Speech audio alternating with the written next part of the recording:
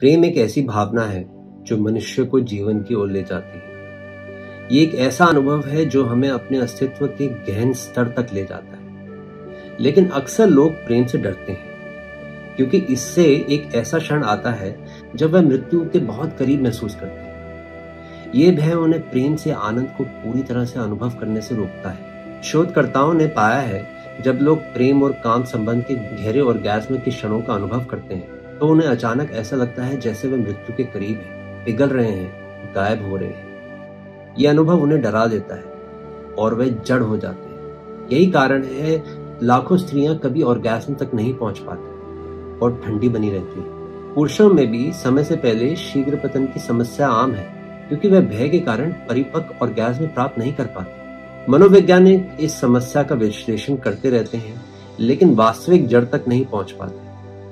पूर्व में इस बात को समझा गया है कि 99.9 परसेंट मनोवैज्ञानिक समस्याएँ वास्तव में आध्यात्मिक अज्ञानता में निहित है। जब तक इस अज्ञानता को दूर नहीं किया जाता, ये समस्या बनी रहती है। पश्चिमी मनोविज्ञान लक्षणों का विश्लेषण करता रहता है, लेकिन समस्या के मूल को कभी नहीं छूता। इस समस्या का समाधान ध्यान में निहित है।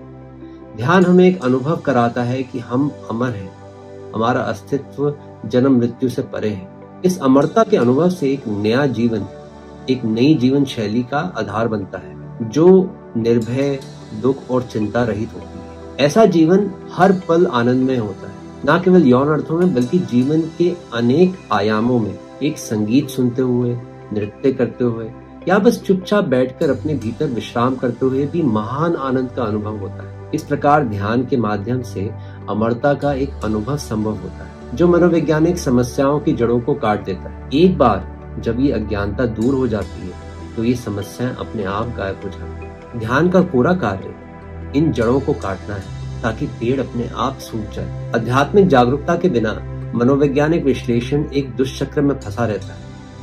अतः प्रेम की गहराइयों में उतरना और उसके सच्चे स्वरूप को अनुभव करना हमें अपने अस्तित्व की अमरता से परिचित कराता है, जिससे जीवन के हर पल में अद्वितीय आनंद की अनुभूति होती है। प्रणाम।